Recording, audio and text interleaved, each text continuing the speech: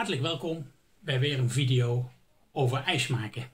Vandaag maken we chocolade roomijs met nootjes. Ehm, dit is een van de warme recepten. Dus dit is een recept waarbij gekookt moet worden en dat soort dingen meer. Nou, dat is... ehm, dat gaat allemaal ongetwijfeld lukken. Ehm, iets wat we aan het procedé gaan veranderen.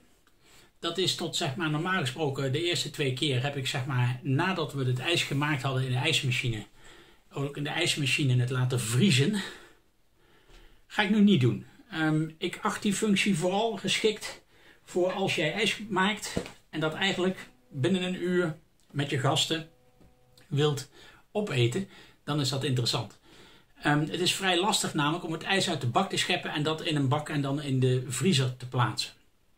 Dat zal ongetwijfeld makkelijker zijn wanneer je het ijs net gemaakt hebt, want dan is het een beetje als een soort van softijs.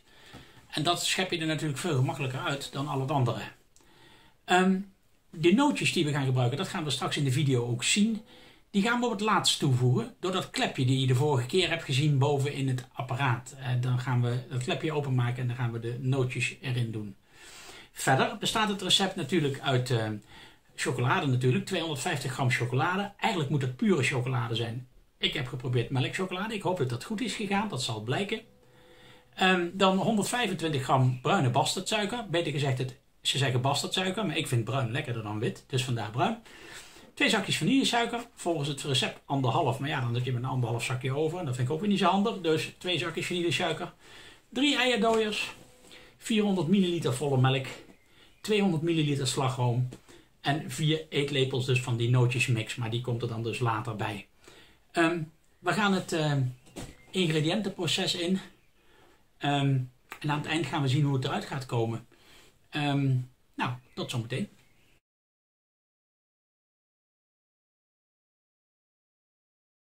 Zo, vandaag gaan we chocoladeijs maken. Ik heb hier de ingrediënten klaarstaan. Bestaande uit 125 gram bruine bastardsuiker. In het recept staat overigens witte bastardsuiker, maar ik vind bruine lekkerder op de een of andere manier. Dan 250 gram chocolade. Dat moet eigenlijk pure chocolade zijn, maar ik heb toevallig alleen melk in huis. En ik ga er even voor het gemak vanuit dat ook dat gaat werken. Dan uh, anderhalf zakje vanillesuiker. Um, ik ga twee zakjes gebruiken, want dit is eigenlijk om het romiger te maken. Dus vandaar de vanillesuiker. Dan drie eierdooiers. De eieren heb ik klaar liggen. Die ziet u hier waarschijnlijk wel liggen. Dan 400 milliliter melk. Wij gebruiken volle melk. Hoe meer room, hoe meer vet, hoe romiger de, het ijs wordt, zeg maar. 200 milliliter slagroom. En dit staat niet in het recept, maar ik doe dat wel. 4 eetlepels nootjesmix. Ik vind het namelijk erg uh, lekker om ook een beetje nootjes door het ijs heen te hebben. Alleen dit gaan we pas toevoegen helemaal aan het eind. Dus het gaat uit beeld verdwijnen. Want op het moment dat het ijs gemaakt wordt, weet niet of je je kunt herinneren dat klepje bovenin het apparaat. Vijf minuten voordat het ijs klaar is, voegen we dit toe, zodat het vermengd wordt in het ijsmengsel. En dat is eigenlijk alles wat we gaan doen. Ja, wat gaan we nu doen? Um, om te beginnen gaan we de slagroom en de helft van de melk aan de kook brengen. Um, en als het kookt, dan gaat het vuur uit. Gelijktijdig um, moeten we eigenlijk ook de chocolade au bain-marie verwarmen. Dat is een truc. Daar moet ik even naar gaan kijken hoe we dat precies gaan doen. Het is zo dat je hebt een, um, je pakt een pan, die vul je voor een deel met water. Dat water breng je aan de kook. En dan moet je daar eigenlijk een metalen pan of kom op kunnen zetten, die het water niet raakt. En daarin doe je de chocolade. En daarmee gaat de chocolade dan smelten. Dat noemen ze au bain-marie. In de tussentijd moet ik ook de eierdooiers in een aparte kleine kom doen en vermengen met de bastardsuiker en dat vermengen tot een egale massa. Ja, en dan gaan we met die melk verder. Um, laten we eerst maar eens beginnen met um, de au bain-marie in orde maken en het verwarmen van de melk en de slagroom. Daarvoor zet ik de camera even uit, kom ik zo bij je terug. Nou, gaan we. Uh, in de steelpan de slagroom dus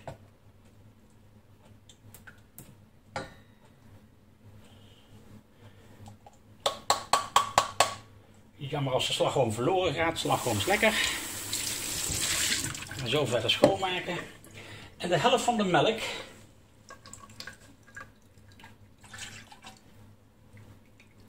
Ietsjes meer. Zo. Dat gaan we verwarmen. Aan de kook brengen zoals die zegt.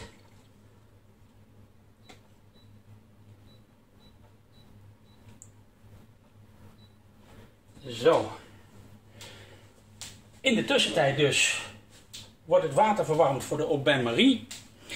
Uh, en dan gaan we nu um, een bak maken waarin ik zeg maar de eieren en de bastardsuiker tot een egale massa ga brengen. Dat ga ik weer even vanaf de camera met de camera uitdoen.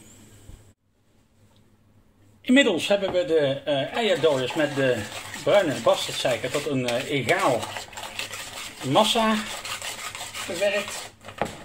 Uh, de melk is aan het uh, langzaam aan het koken. En ook de au bain-marie. In de au bain-marie gaan we de chocolade doen. Dus we hebben die pan in een pan met water staan als het ware, net daarboven. Dat gaat er nu in. En um, ik heb begrepen dat daar ook de andere gedeelte van de melk bij moet. Maar dat doe ik op het laatste nippertje pas. Want um, dan heb ik ook zicht op of dit ook werkelijk uh, smelt, de chocolade. Nou, we gaan weer even van de video af. Kom zo weer bij je terug. Het, uh, de melk en het room is inmiddels uh, voor elkaar.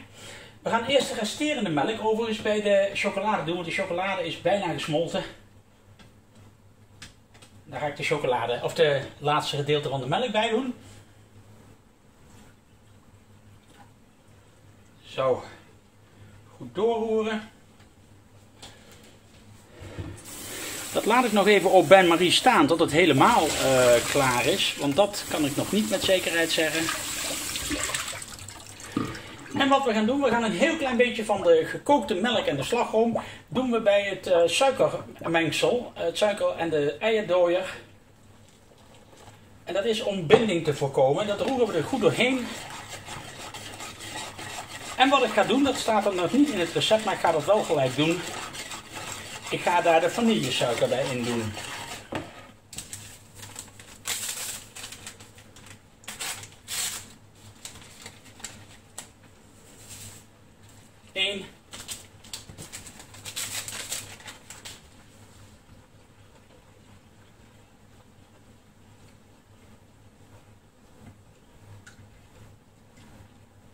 Ondertussen even door de Au Bain Marie chocolade heen. Maak er een beetje een rommeltje van, zag ik. Nou, gaan we zo weer opruimen. Niet suiker er doorheen. Zakjes weggooien. Dat er even doorheen roeren.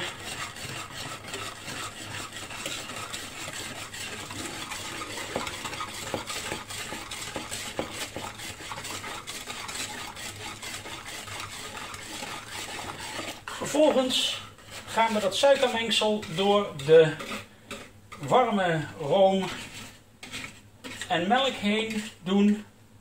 Dat is wat ik hier nu doe. Zoveel mogelijk ervan in de pan hebben. Zo.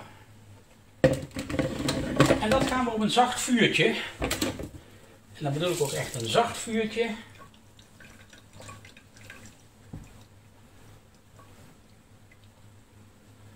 Gaan we dat binden.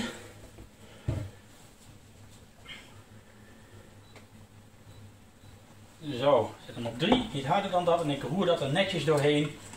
Ondertussen is ook de Au Bain Marie uh, klaar.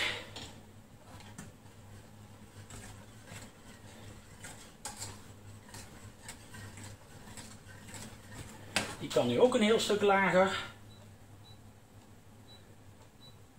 Want de melk is gesmolten.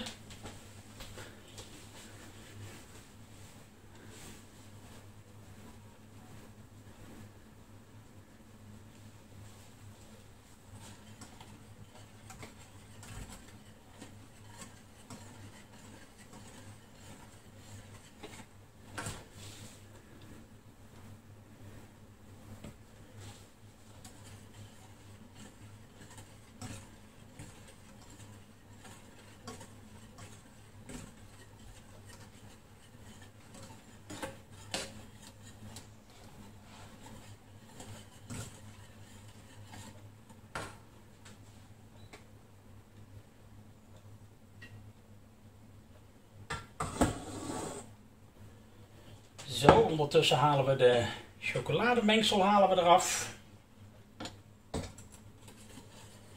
Die pan met water, die kan leeg.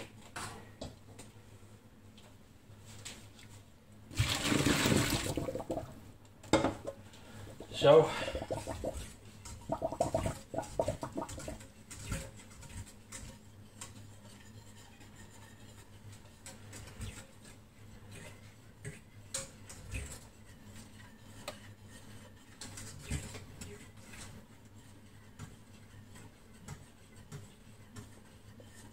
Dit moet binden, zoals dat heet. 3 tot 5 minuten op een zacht vuurtje. Nou, dat zachte vuurtje, dat is wat we hier nu aan het doen zijn. En als dat klaar is, dan vermengen we dit met het chocolademengsel en roeren dat goed door. En dat is het moment waarop we kunnen zeg maar zeggen, we laten het uh, afkoelen. En het is klaar om in um, de ijsmachine te gaan. Nou, dat is wat we gaan doen. Dat ga ik verder nu niet laten zien, dus ik ga even deze paar minuten dat dit goed gebonden is. Dat is dus het room- en slagroommengsel met de suiker uh, en het ei en de eidooiers. Um, en uh, de andere pan is dus het chocolademengsel met 200 milliliter van de slagroom. En dat gaan we zo meteen vermengen. En dan, dan kan het straks in de ijsmachine. Tot zo. We hebben even um, het mengsel overgegoten in een maatbeker. Want zoals je misschien weet van de vorige video's, maximaal 800 milliliter. En dat geheel gaat nu hier in de ijsmachine. Gaan we gelijk even doen.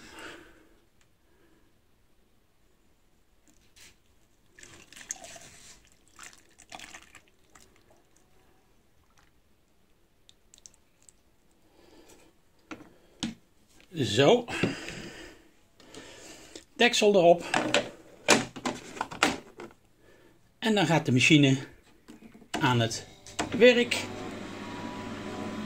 Een uurtje en vijf minuten voordat het klaar is, gaan we de nootjes eraan toevoegen voor het laatste stukje. Inmiddels is het ijs zover dat we de noten kunnen gaan toevoegen, dus dat gaan we nu doen.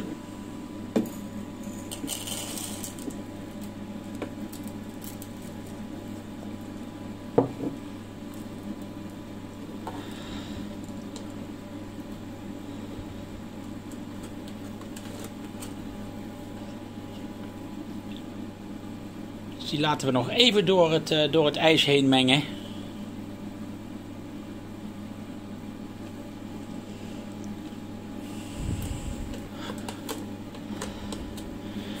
En dan is zometeen het ijs klaar. Het ziet er net uit als pindakaas, maar dat is het niet. Het is echt chocoladeijs met nootjes. Die nootjes moeten nog iets beter vermengd worden. Daarom dat ik even de vriezer uit heb gezet en nu alleen laat mengen. Dus als die iets minder afkoelt, zal die wat makkelijker mengen. En als die dan goed vermengd is, vries ik hem nog even iets wat op. En dan gaat die in de bak.